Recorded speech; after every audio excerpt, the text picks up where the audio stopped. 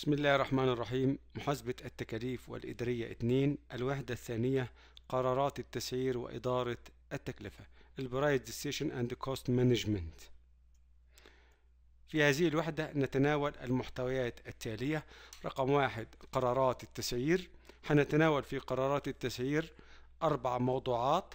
قرار التسعير في ضوء ظروف الاحتكار.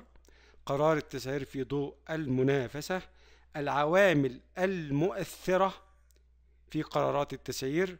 قرار التسعير باستخدام تحليل التكاليف الحدية. القسم الثاني بيتكلم عن إدارة التكلفة. القسم الثالث رقم ثلاثة أدوات إدارة التكلفة. وهناخد فيها سبع أدوات. سبع أدوات.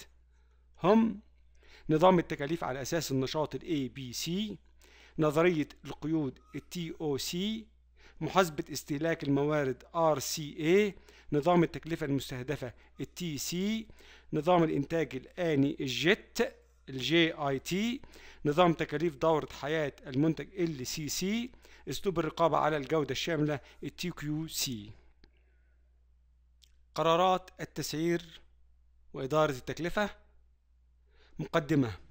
لقد تزايدت حدة المنافسة بين الشركات بشكل كبير في العقدين الأخيرين من القرن الماضي الميلادي وتزايد معها استخدام تقنيات وأساليب حديثة لإدارة الشركات بشكل عام وإدارة التكاليف بشكل خاص بهدف زيادة القدرة على المنافسة. من خلال تقديم منتجات ذات نوعية جيدة وبأسعار منخفضة وتنافسية في نفس الوقت.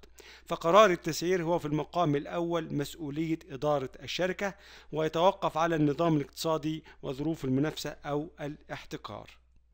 يهدف هذا الفصل إلى كيفية الوصول إلى القرار الأمثل لتسعير المنتجات من خلال إدارة التكلفة بطريقة تزيد من القدرة التنافسية للمنشأة على المستوى المحلي والإقليمي والعالمي للنهوض باقتصاد الوطن ولكي تدار التكلفة بطريقة سليمة يلزمها عدة أدوات تمثل حجر الأساس في تعزيز القدرة التنافسية للمنشأة فإدارة التكلفة من خلال أدوات سليمة قد تحدث. رقم واحد حساب تكلفة المنتجات والخدمات بدقة أكبر. رقم اتنين استغلال أمثل لموارد المنشأة. ثلاثة الحد من الفاقد والتالف أثناء عمليات التشغيل. أربعة الحفاظ على جودة المنتجات بل وتحسينها لتحقيق رضا العميل. خمسة بيع المنتجات والخدمات بسعر تنافسي. ستة الحصول على حصة أكبر في السوق المحلي والعالمي.